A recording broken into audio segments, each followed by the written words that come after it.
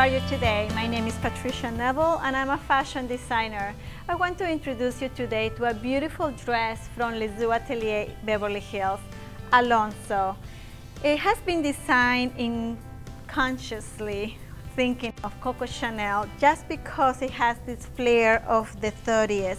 However, I think it's very trendy for today's bride and it's short and sexy. So I think the girls in the 30s will have want to uh, deliriously wear this dress probably in their dreams. Anyway, talking again about Alonso, this dress is made in silk taffeta with silk organza and it's all pleated. Also, we, are, we put a black belt from Stephanie Brown, Australia. And the dress is pretty short, but I think they can make it a little longer if you want to, if you really want to. Anyway, show the back.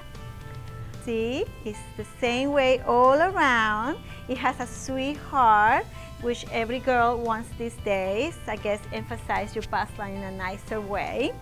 And there you are, it's a little bit of a twist, you know, with sophistication.